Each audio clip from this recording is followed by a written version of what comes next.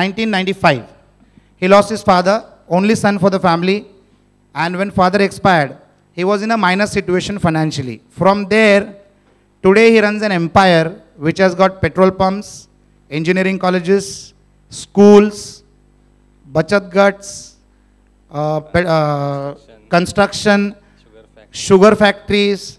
He, he employs only 3,440 people. He has 495 branches. He has a personal uh, group of 49,500 people across Kolhapur. He is also into the media and entertainment zones. They have got their own music channels. They have got their own television channels. They have got their own news channels. So they cover Kolhapur, Sangli, Satara, Solapur. And they are the largest uh, connectors for entertainment channels in Western Maharashtra. I think they are the largest covering 15 lakh homes multiplied by 5. So 75 pe- lakh people are in communication with them on a direct basis. So age is just a number. He is very young. There is a long way to go. What we would like to understand to begin with, with that setback, when you were minus, what was the vision in front of you? How could you get on to build such a large empire? Uh, actually, good evening, everybody. Uh, I will start when my father was alive. So he he was my guru, he was my mentor, he was my teacher. As I told, he I lost him at a very early age. But uh, uh, when I was in tenth, uh, my father, as I told you, he was a very uh, he was a great wrestler. After my tenth, my father and mother had a fight that to which branch should I go. My mother was saying he should go to commerce, and my father was saying he should go to arts. We didn't had any say, so uh, wherever they say, I had to go. Uh, both of them they won. I asked my mother why you want me to go to commerce. She, she said, uh, my maternal uncle, my mama, he was working as a, a clerk in some bank. So she said, if you get commerce, if you graduate in commerce, you will get a clerical job somewhere. And I asked why my father wants me to go to arts. So she said ki he wants to go, you to go to arts because you don't have to go to the college. You can bunk the college and you go to the akhada and do practice. So ultimately both of them they won. I went to commerce and my father told not to go to college. And uh, this was the journey we started. So actually it takes five, five years to graduate. I took eight years and this was how my education was. Uh, as you told, my after my father's uh, loss, I was uh, shattered because uh, I belong to a very small family. He, he was a farmer. We had some agriculture land and few petrol pumps, and I didn't knew anything about the pumps and agriculture as well. So uh, we were in a little bit debt. So I was worried because I didn't knew anything. My education was not that good. Uh, how I should come out of it. And so I started. Uh, I I thought ki I should improve the business because I see a lot of people they uh, say dream big. Uh, uh, to tell you the truth, I have never dreamt anything because I never believe You kept your eyes open and you kept yeah, doing it. I, uh, I believe, uh, I never believed uh, in destiny. I believe in hard work. So, this is the rule I follow that destiny always favors the brave. So, this is how I started, and I had the agriculture land and uh, petrol pumps. So, we, uh, there were a lot of petrol pumps throughout the country. I, I thought we should, I should do something different so that I can get a good sale. And I went to the transporters, to Gujarat, to Kerala, to Chennai, and we went to them and we, we told them that we'll get you these facilities. The drivers, they don't bath for two, three days. We'll give them free soap. We'll give them food.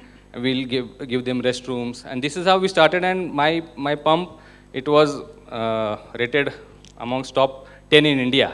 I got such good sales. So this is how uh, the, the business came into me. And In fact, one smart strategy that he adopted was if there is an accident in 100 kilometers around his pump, all the services to the accident victim, he used to be giving it free of cost. So that also gave him popularity. This is how we attracted the transporters towards us, and, And, uh, I got the sale. and that helped the business to grow Yes, and their turnover became one of the top 10 in the country. yes, yes. Uh, Mr. Mahadik, Kolhapur is considered as one of the richest places in Maharashtra. I think the highest number of BMWs and Mercedes are bought in Kolhapur. Range Rover and well. uh, Range Rovers as well. so agriculturally, it's a very rich place, Yes. and uh, I'm sure the business, the people over there uh, believe in prosperity. They are prospering. Uh, it has got good land, so the agriculture is also very powerful. Uh, when you started your business there, what were your initial challenges to growth? As you mentioned, Kolhapur is number two in India per capita income growth. Wow, Number what two. is number one? Ludhiana is number one. Oh. Uh, it is a very prosperous, uh, prosperous uh, district. A lot of good land, waters, sun, everything is good, and people are very rich, very rich culture. Uh, my entire businesses are around Kolhapur. So, as I mentioned, you do business to earn. Uh, if if the motive is not there, you cannot do business. So after a few uh, two years after uh, this my, my father's death, uh, I I planned to diversify, and I didn't. I was not a technical person. I didn't didn't knew anything. So I thought uh, construction में थोड़ा जाएंगे कुछ कोशिश करेंगे तो I had a friend um, Abhijit and uh, he was an engineer. So we both sat and we discussed and we thought uh, we'll plan, we'll try something. So first uh, land we took, it was a very small land, 20,000 square feet. And uh, it was very difficult for us to get the land because uh, we didn't know anything. Uh, there were a lot of bargains and a lot of things. But we did that scheme within eight, nine months. And uh, it was a huge success. We earned a lot from that scheme. And thus the, uh, the construction The multiplication began. multiplication began. How much did your boxing and your wrestling background help you in business?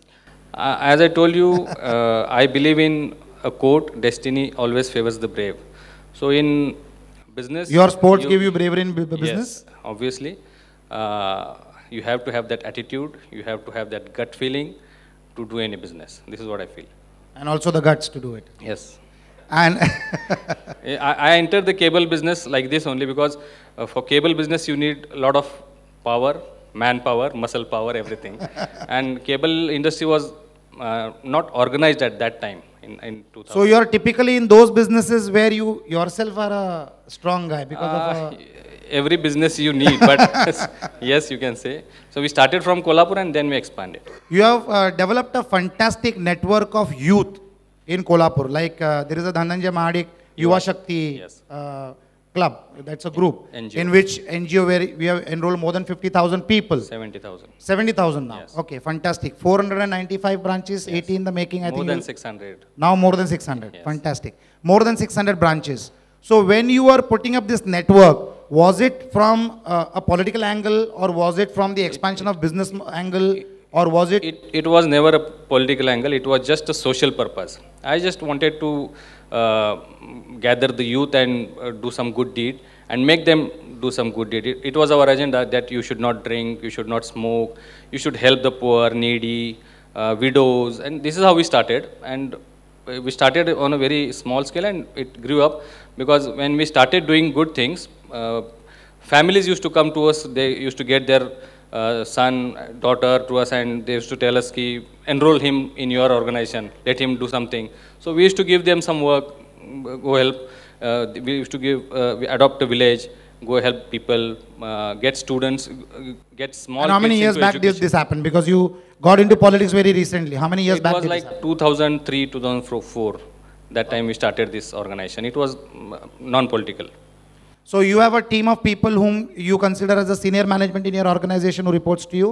How does your hierarchy work? Uh, we have um uh, we have the branches we have their heads we have the taluka heads so this is how we work we, we How do you shortlist the key people in your team? the one who do, does the best is the person head of that organization over there Okay, and how do you monitor that? How do you make them accountable? no we we uh, uh, organize a meeting every 10 15 days so the head person they come to us and they report us and What we, do you- we, give, we give them program what has to be done You are almost in 14 to 15 businesses. So I think there was a time, period of time in your life where every alternate year you started a new venture. Every alternate year, yes. I Every used to do alternate year, yeah. Since I entered politics, It is stopped. stopped, yes. But when you start a business, what is the groundwork that you do, whether you want to get into that business model or not. Like, for example, a sugar factory. When you talk about a sugar factory, there is a lot of coordination which happens with the government. So, was it a motivator, a demotivator, or what was it? Uh, I, I never thought about that. I just, uh, I feel when you start a business, you need to have a vision. That's, is this going to, is this business going to last? Is this going to run? How many years? What is the future? Other than that, you cannot start it because if you don't see the future of that business, see, there are a lot of people who come to us and they show us the pictures, their, their laptops and all. But until and unless it clicks you, you cannot go, go into that.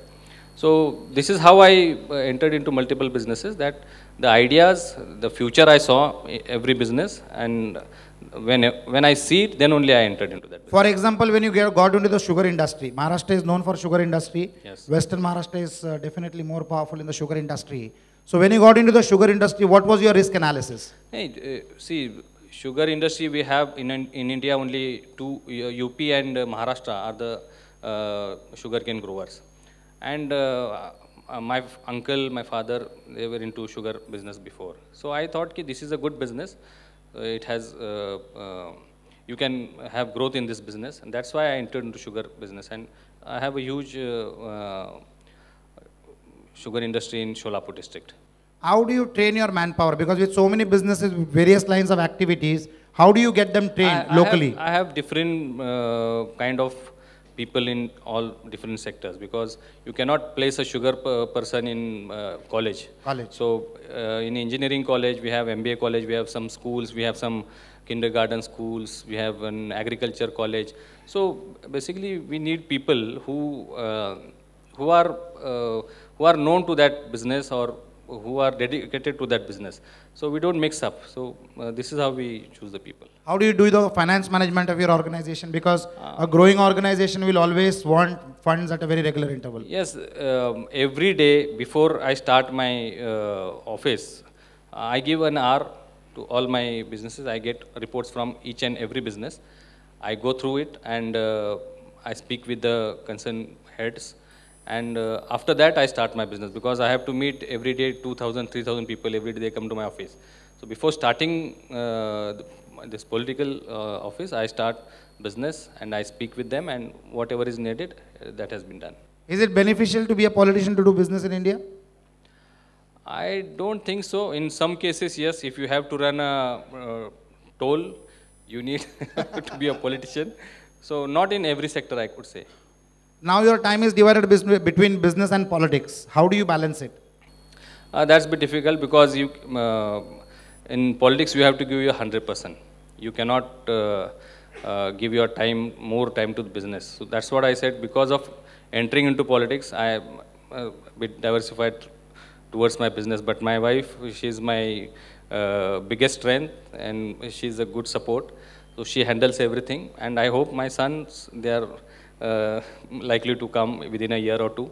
So they'll be handling the business. When you're growing your businesses in a place like in a beautiful city like Kolhapur, small uh, town or city that you can call it, how did you face competition? How did you handle it? And how did you take advantage from your competition? Competition, there is competition in every business.